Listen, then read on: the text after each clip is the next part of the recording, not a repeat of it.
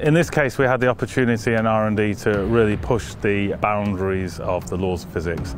The quest was to make a very long throw box and to have full bandwidth, full sound qualities. Here she is, in the flesh. She's, she's big, um, but she's big for a reason.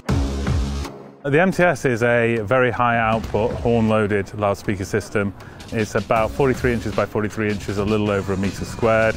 It's got a single large constant directivity horn with four bass drivers driving into the horn and two high power coaxial compression drivers on a low loss waveguide that then feeds into the same wooden horn to give you a constant directivity output. Couldn't believe the quality of sound given it was just one speaker. I've been really, really impressed by it. It's uh, fantastic. And from where we're at at the moment, uh, from the speaker actually to the end of the stadium, around about 170 metres, and the clarity seemed to be quite good at that point. And there was no drop in HF, there was no drop in intelligibility with the voice or music.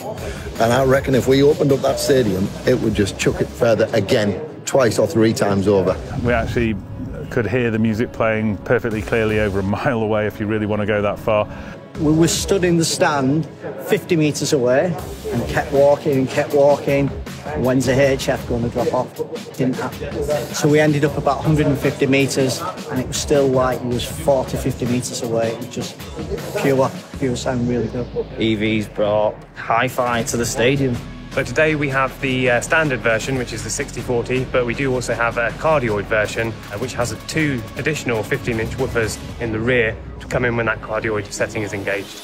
When you're behind the box, all we're hearing is a reflection off the stands. We don't hear any information from behind the box. We have an added bonus out the front is we get about maybe 2 dB more in that kind of low bass around the 50, 60, 70 hertz where the kick drum's really there. The kind of frequencies that are making you dance.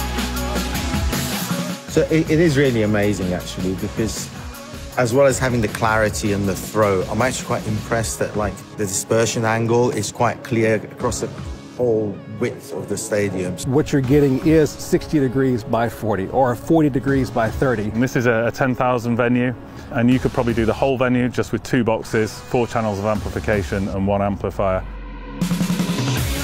Don't think of this product, MTS, as being an American only baseball type stadium product. But that doesn't mean it doesn't fit here, because it actually does.